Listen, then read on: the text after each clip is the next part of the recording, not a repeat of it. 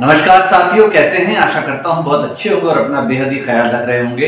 आज का वीडियो बहुत ही खास है, ना सिर्फ़ उन स्टूडेंट्स के लिए जो इलेवेंथ और ट्वेल्थ के हैं और प्रिपरेशन कर रहे हैं अपने एग्जामिनेशन की बोर्ड एग्जामिनेशन और फाइनल होम एग्जामिनेशन की, बल्कि ये वीडियो उन सारे स्टूडेंट्स के लिए भी इंपॉर्टेंट है जो किसी ना किसी कंपटीशन में पार्टिसिपेट करने जा रहे हैं या फिर उसकी प्रिपरेशन कर रहे हैं। Because syntax is the backbone of all the competition in which English is a subject किसी भी कंपटीशन में जिसमें इंग्लिश अगर सब्जेक्ट है तो सिंटेक्स सबसे इंपॉर्टेंट है। तो आइए शुरू करते हैं हम आज इस वीडियो में। सिंटेक्स की एक्सरसाइज नंबर 69 जो है आपकी मोस्ट फेवरेट और loving book of grammar typical approach to general English से। और दोस्तों, हर सेंटेंस के साथ ना सिर्फ़ सॉल्यूशन दिया जाएगा, बल्कि समझाने की भी कोशिश की जाएगी कि आखिर वो सॉल्यूशन क्यों है। ठीक है? आइए शुरू करते हैं। वीडियो को लास्ट तक ज़रूर देखिएगा। आपसे रिक्वेस्ट है, और अच्छा लगे तो शेयर ज़रूर करिए अपने फ्रेंड्स के लिए, और सब्सक्राइब आपने कर ही लिया है अपना most favourite loving educational channel Sanjeev Goswami. और एक लाइक तो बनता है दोस्तों। आइए शुरू करते हैं। द कैटल्स आर माइन कभी भी कैटल्स नहीं आएगा फ्रेंड्स कैटल आएगा। पशु मेरे हैं। Number two the house was bought घर खरीदा गया था। फॉर फोर हंड्रेड रुपीज़ जब संख्या आएगी फोर फाइव सिक्स उसके बाद ना तो कभी हंड्रेड्स आएगा, ना थाउजेंड्स आएगा, ना लाख, ना करोड़ आएगा। हिंदी में समझेंगे चार सौ रुपए। चार सैकड़ों रुपए नहीं ना? तो फोर हंड्रेड ही सॉल्यूशन है। नेक्स्ट द ट्रेवलर एडमायर्ड यात्री ने प्रशंसा की। द ब्यूटिफुल सीनरीज सुंदर सीनरीज कभी नहीं आता। हमेशा सिंगुलर में आता है सीनरी उस सुंदर दृश्य की प्राकृतिक जो उसने देखा होगा। Do not listen to his advices उसकी एडवाइजेस कभी नहीं आता फ्रेंड्स एडवाइज हुआ गॉसिप हुआ, ये हमेशा सिमिलर में आएँगे। तो एडवाइज आएगा। ठीक है? I need warm cloth for winter dress एक होता है C L O T H E S cloth जो तैयार कपड़े जो हम पहनते हैं, एक होता है C L O T H cloth जिससे कपड़े बनते हैं। जैसे कोई चादर टाइप का होगा, कोई लंबा सा थान होगा जिससे हम कपड़े सिलेंगे। तो इसको कभी भी हम प्लूरल में यूज़ नहीं करेंगे। इंपॉर्टेंट चीज़ है टिप याद रखिएगा प्लीज़ अच्छा लगे तो लाइक करें। तो यहाँ होगा, मुझे आवश्यकता है गर्म कपड़े की। कपड़ों की नहीं, उस कपड़े की इससे मैं सर्दी की ड्रेस तैयार करूँगा। है ना, मज़ेदार? ओके ही हैज़ परचेज उसने खरीदे, फिर आगे गिनती थ्री थ्री के बाद पेयर आएगा, कभी पेयर्स नहीं। तीन जोड़ा जूते, तीन जोड़ी जूते। ठीक है? जोड़ो नहीं है। There are no breads in the almirah breads कभी नहीं आता ब्रेड आता है। ठीक है? और वैसे भी नो के बाद हमेशा सिमिलर आता है। कभी प्लूरल नहीं आता। ओके तो अलमारी में ए, कोई भी ब्रेड नहीं है। ही प्लेस हिज वर्ड्स उसने वर्ड्स नहीं आएगा वर्ड आएगा। उसने वो वचन वो शब्द प्रतिज्ञा की। किसी शब्द की किसी बात की। तो यहाँ पर वर्ड आएगा।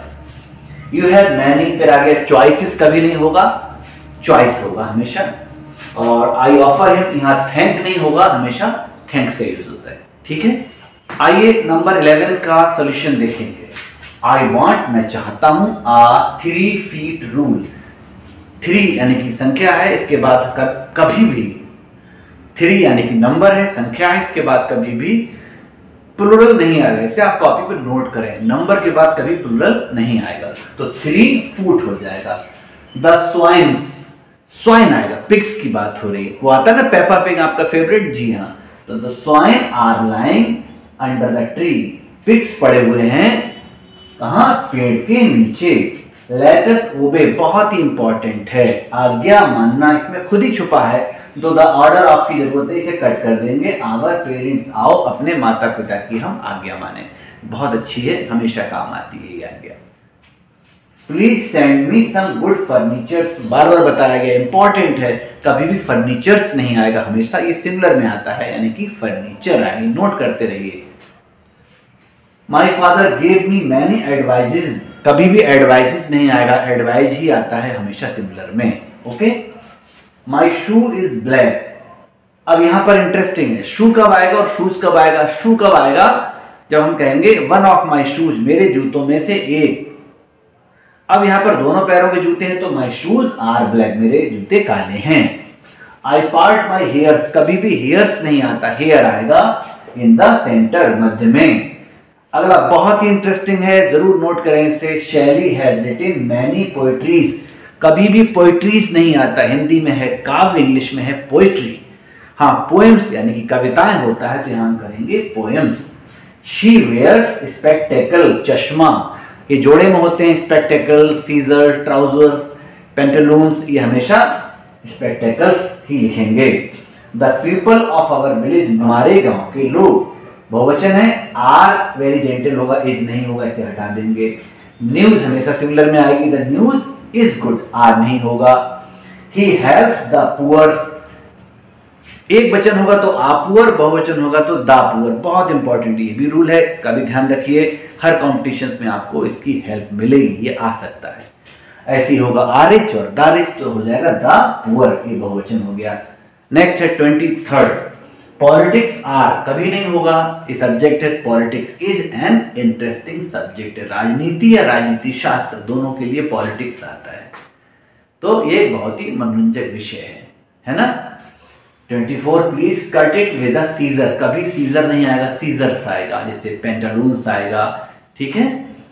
तो ऐसे लिखेंगे scissors he did many kindnesses बहुत सी दयालुताएँ। तो यहाँ पर सो लगा देंगे। So many kindnesses kindness similar है और काइंडनेसेस उसका प्लूरल यानी बहुवचन। सो फ्रेंड कैसा लगा आपको ये वीडियो ये एफर्ट अगर अच्छा लगा तो शेयर ज़रूर करें लाइक करें और सब्सक्राइब ज़रूर कर लें अपना most favourite loving educational channel Sanjeev Goswami. नमस्कार।